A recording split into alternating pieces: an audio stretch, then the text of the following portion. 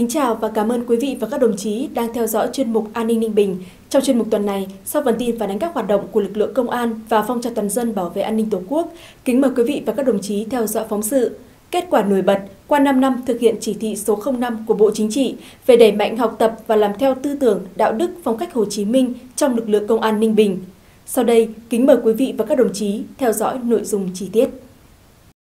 Ngày 27 tháng 4 năm 2021, Hội Phụ nữ Phòng Hồ sơ Công an tỉnh tổ chức đại hội nhiệm kỳ 2021-2026. Trong nhiệm kỳ qua, Ban chấp hành Hội Phụ nữ Phòng Hồ sơ luôn bám sát sự chỉ đạo của cấp ủy, lãnh đạo đơn vị, sự hướng dẫn của Hội Phụ nữ cấp trên, xây dựng và triển khai chương trình kế hoạch cụ thể, thực hiện có hiệu quả các phong trào thi đua và hoạt động công tác hội. Hội viên phụ nữ được bố trí sắp xếp ở tất cả các tổ đội, từ việc tiếp nhận, quản lý, lưu trữ, khai thác, cung cấp thông tin phục vụ công tác đấu tranh xử lý tội phạm, các yêu cầu và nguyện vọng chính đáng của nhân dân, dù ở bất kỳ cương vị công tác nào, chị em luôn hoàn thành tốt nhiệm vụ được giao, các chỉ tiêu cơ bản đều hoàn thành và hoàn thành vượt mức. Trong nhiệm kỳ có 15 lượt hội viên được tặng bằng khen, giấy khen và được biểu dương gương người tốt, việc tốt. 5 lượt hội viên đã danh hiệu chiến sĩ thi đua cơ sở.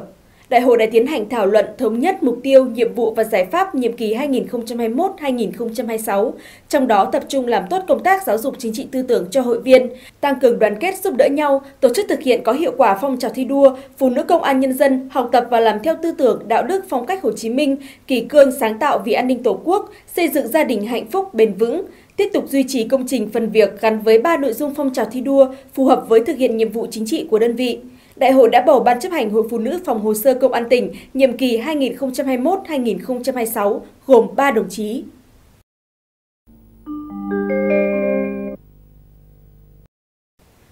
Công an huyện Kim Sơn phối hợp với trường Trung học phổ thông Kim Sơn A vừa tổ chức tuyên truyền phòng chống tệ nạn ma túy, xâm hại trẻ em và đảm bảo trật tự an toàn giao thông cho gần 1.400 cán bộ giáo viên và học sinh nhà trường. Tại buổi tuyên truyền, lực lượng công an đã thông báo về tình hình tội phạm ma túy, cách nhận biết, phân biệt các loại ma túy, các kiến thức và kỹ năng trong công tác phòng chống các hành vi xâm hại trẻ em, phổ biến những kiến thức cơ bản của luật giao thông đường bộ, các lỗi vi phạm giao thông đường bộ. Đồng thời, các em học sinh được giao lưu, trao đổi về các tình huống, biện pháp, kỹ năng xử lý và cách phòng tránh ma túy. Thông qua buổi tuyên truyền nhằm trang bị thêm kiến thức, biện pháp phòng ngừa tội phạm về ma túy, ngăn chặn các hành vi xâm hại tình dục trẻ em, nâng cao nhận thức pháp luật về trật tự an toàn giao thông, góp phần xây dựng môi trường sống an toàn lành mạnh cho học sinh từ gia đình, trường học và cộng đồng.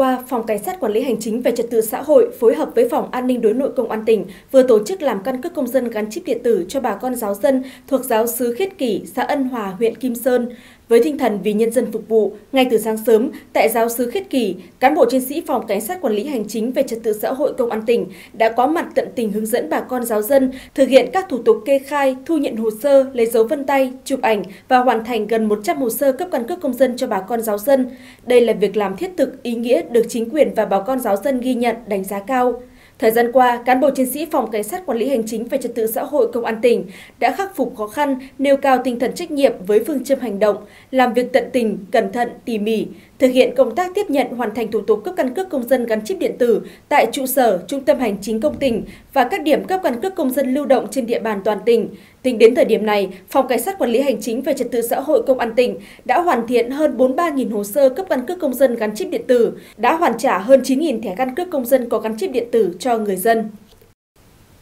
Kính thưa quý vị, thưa các đồng chí, với những việc làm cụ thể thiết thực, những mô hình hay, cách làm sáng tạo, việc thực hiện chỉ thị số 05 của Bộ Chính trị về đẩy mạnh học tập và làm theo tư tưởng, đạo đức, phong cách Hồ Chí Minh trong lực lượng công an Ninh Bình đã và đang đi vào chiều sâu, tạo sức lan tỏa mạnh mẽ. Qua 5 năm triển khai thực hiện, dưới sự chỉ đạo cụ thể sát sao của Đảng ủy, Giám đốc Công an tỉnh, sự cố gắng nỗ lực của cán bộ chiến sĩ đã tạo nên những kết quả tích cực, từng bước nâng cao năng lực lãnh đạo và sức chiến đấu của lực lượng công an Ninh Bình, đồng thời góp phần xây dựng lực lượng công an Ninh Bình đoàn kết, thống nhất, trong sạch, vững mạnh, chính quy, tinh nhuệ, từng bước hiện đại, xứng đáng với niềm tin yêu của cấp ủy, chính quyền và nhân dân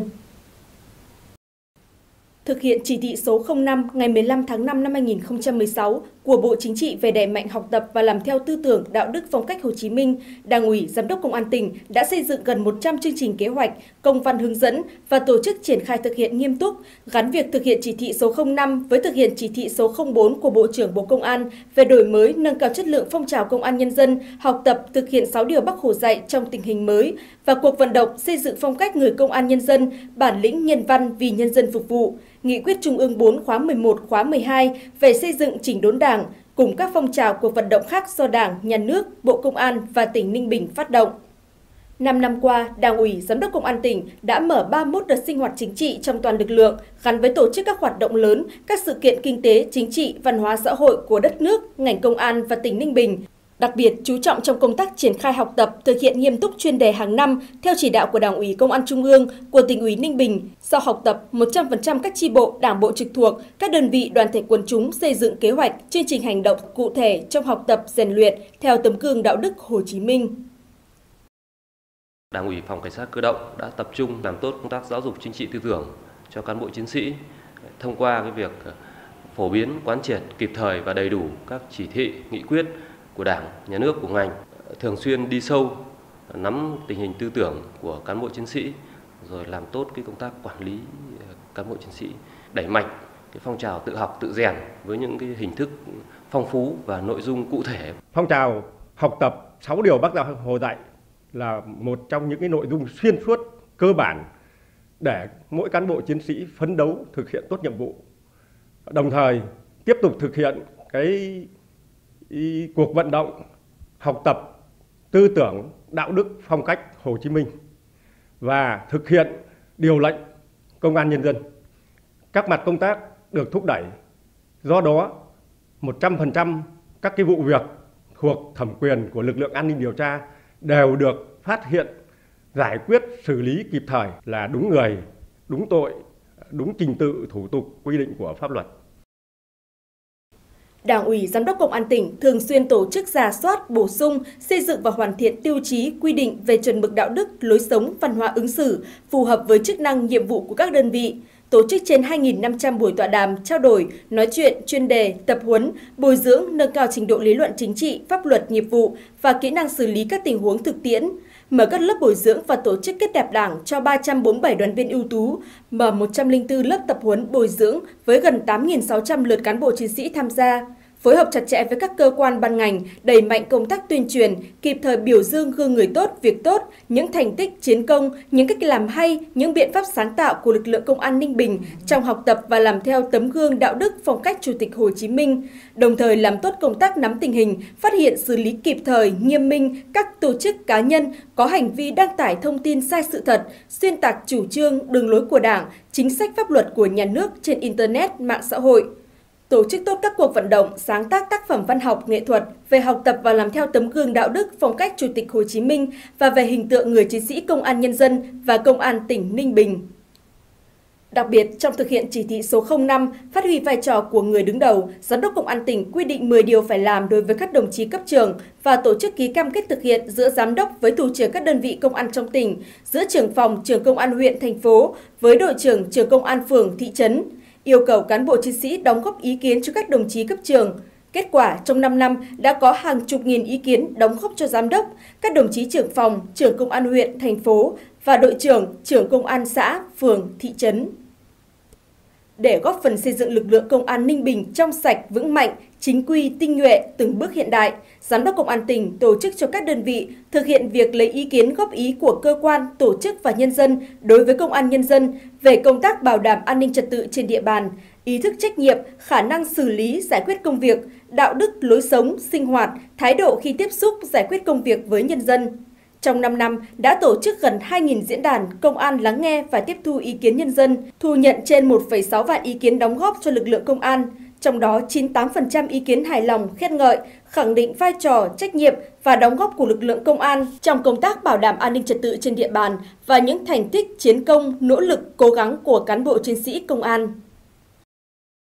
Công an thành phố tham mưu cho thành ủy, hội đồng nhân dân ủy ban nhân thành phố quyết những vấn đề nổi cộm trong dân rồi xử lý những vấn đề có liên quan đến vấn đề an ninh trật tự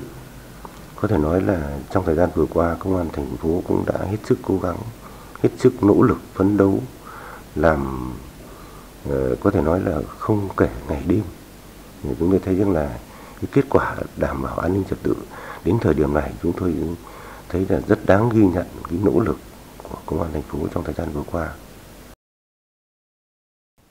Thực hiện có hiệu quả đề án của Chính phủ, Bộ trưởng Bộ Công an về công tác chính quy hóa lực lượng công an xã với phương châm bộ tinh, tỉnh mạnh, huyện toàn diện, xã bám cơ sở, Đến nay, 100% các xã thị trấn bố trí đủ 5 cán bộ chiến sĩ công an chính quy trở lên, trong đó bổ nhiệm kiện toàn các chức danh công an xã, đồng thời trang cấp cơ sở vật chất, phương tiện làm việc, trang bị vũ khí, công cụ hỗ trợ, bảo đảm hoàn thành tốt nhiệm vụ, đảm bảo an ninh trật tự ngay từ cơ sở. Công an tỉnh Ninh Bình là một trong 14 đơn vị đầu tiên hoàn thành công tác chính quy hóa lực lượng công an xã trên địa bàn toàn quốc lực lượng công an toàn tỉnh đã tham mưu cho cấp ủy đảng, chính quyền các cấp và phối hợp chặt chẽ với các ban ngành đoàn thể, tổ chức chính trị xã hội, huy động sức mạnh của cả hệ thống chính trị và toàn dân trong bảo đảm an ninh quốc gia, đấu tranh phòng chống tội phạm, bảo đảm trật tự an toàn xã hội, xây dựng, duy trì và nhân rộng các mô hình phong trào toàn dân bảo vệ an ninh Tổ quốc đang phát huy hiệu quả trên địa bàn triển khai thực hiện có hiệu quả mô hình dân vận khéo, các hoạt động tình nghĩa, cộng đồng để tạo sự gắn bó với nhân dân, đồng thời xây dựng hình ảnh đẹp của người công an Ninh Bình vì nước quên thân, vì dân phục vụ. Tổ chức gần 600 hoạt động tình nghĩa, hoạt động cộng đồng tại các giáo xứ, vùng đồng bào tôn giáo, tích cực tổ chức các hoạt động đền ơn đáp nghĩa tri ân mẹ Việt Nam anh hùng, gia đình thương binh, liệt sĩ, gia đình có hoàn cảnh khó khăn, các cháu học sinh nghèo học giỏi, xây dựng 9 nhà tình nghĩa, làm thẻ căn cước công dân cho gần 5.000 trường hợp, tham gia hiến 3.500 đơn vị máu, ủng hộ đồng bào miền Trung bị lũ bão 900 triệu đồng và 20 tấn hàng hóa, cử trên 10.000 lượt cán bộ chiến sĩ tăng cường cơ sở bảo đảm an ninh trật tự, nhất là trong những dịp lễ, Tết, các sự kiện chính trị xã hội quan trọng – Do vậy, đã góp phần nắm chắc tình hình địa bàn, tham mưu cho cấp ủy chính quyền chỉ đạo và phối hợp chặt chẽ với các cấp, các ngành, giải quyết kịp thời những vấn đề còn bức xúc tại địa phương mà dư luận xã hội và nhân dân quan tâm, không để trở thành điểm nóng. Đã tiến hành nhiều cuộc thanh tra, kiểm tra chuyên ngành đối với các đơn vị và cá nhân, tổ chức trên 5.500 cuộc kiểm tra công tác chấp hành điều lệnh công an nhân dân trong lực lượng công an Ninh Bình để chấn chỉnh, khắc phục những tồn tại, hạn chế, đã đề nghị sửa đổi, bổ sung và cắt giảm rút ngắn 191 thủ tục hành chính, qua đó phục vụ tốt nhất yêu cầu chính đáng của tổ chức và công dân, góp phần vào nhiệm vụ công tác cải cách hành chính, cải cách tư pháp. Quá trình thực hiện chỉ thị 05 của Bộ Chính trị từ năm 2016 đến năm 2021 đã xuất hiện 45 mô hình điển hình tiên tiến gắn với thực hiện nhiệm vụ chính trị như tự học, tự rèn, tự đào tạo, mỗi cán bộ chiến sĩ giỏi một việc, biết nhiều việc của phòng công tác đảng và công tác chính trị – thi đua xây dựng công an thành phố Đức Trí Dũng Nhân Hậu là động lực thúc đẩy hoàn thành xuất sắc nhiệm vụ của công an thành phố Ninh Bình. Giỏi về nghiệp vụ ngoại ngữ, vững về pháp luật của phòng an ninh đối ngoại. Nói lời hay, làm việc tốt, hiến máu cứu người của đoàn thanh niên công an tỉnh. Phụ nữ công an Ninh Bình tích cực học tập, năng động, sáng tạo vì an ninh Tổ quốc của Hội Phụ nữ Công an tỉnh. Chiến đấu giỏi, xây dựng lực lượng trong sạch, vững mạnh của Phòng Cảnh sát Hình sự, Phòng Cảnh sát Ma túy. Công an 8 huyện, thành phố có mô hình, mỗi ngày là một việc tốt phục vụ nhân dân. Thông qua các mô hình phong trào đã xuất hiện nhiều tập thể cá nhân điển hình tiên tiến, lập công xuất sắc, được các cấp biểu dương khen thưởng, như Công an tỉnh liên tục được tặng cờ thi đua xuất sắc của Chính phủ, Bộ Công an, của tỉnh ủy, Ủy ban Nhân dân tỉnh Ninh Bình. Hơn 3.300 lượt tập thể cá nhân có thành tích xuất sắc được các cấp khen thưởng. Công an tỉnh nhận được 605 thư khen của Chủ tịch Ủy ban nhân dân tỉnh, thư cảm ơn của nhân dân. Thời gian tới, Đảng ủy, Ban giám đốc Công an tỉnh chỉ đạo toàn lực lượng tiếp tục quán triệt, nâng cao nhận thức cho cán bộ chiến sĩ về nội dung, ý nghĩa của 6 điều Bác Hồ dạy Công an nhân dân, đẩy mạnh việc học tập và làm theo tư tưởng, đạo đức, phong cách Hồ Chí Minh nhằm tạo sự chuyển biến mạnh mẽ hơn nữa trong công tác xây dựng lực lượng công an nhân dân tiếp tục tổ chức các hoạt động sinh hoạt chính trị sâu rộng trong toàn lực lượng nhằm tuyên truyền, giáo dục cho cán bộ chiến sĩ có nhận thức sâu sắc về những nội dung cơ bản của tư tưởng và tấm gương đạo đức Hồ Chí Minh, kịp thời biểu dương, khen thưởng, nhân rộng gương điển hình tiên tiến, người tốt, việc tốt, tạo khí thế thi đua sôi nổi rộng khắp, đồng thời siết chặt kỷ luật, kỷ cương, điều lệnh công an nhân dân, đẩy mạnh công tác phòng chống tham nhũng, lãng phí, tạo môi trường tốt để cán bộ chiến sĩ rèn luyện, phấn đấu, hoàn thành xuất sắc các chỉ tiêu công tác, góp phần giữ vững an ninh quốc gia, bảo đảm trật tự an toàn xã hội, phục vụ đắc lực nhiệm vụ phát triển kinh tế, xã hội của tỉnh. Chuyên mục An ninh Ninh Bình tuần này xin được kết thúc tại đây. Cảm ơn quý vị và các đồng chí đã quan tâm theo dõi. Xin kính chào và hẹn gặp lại.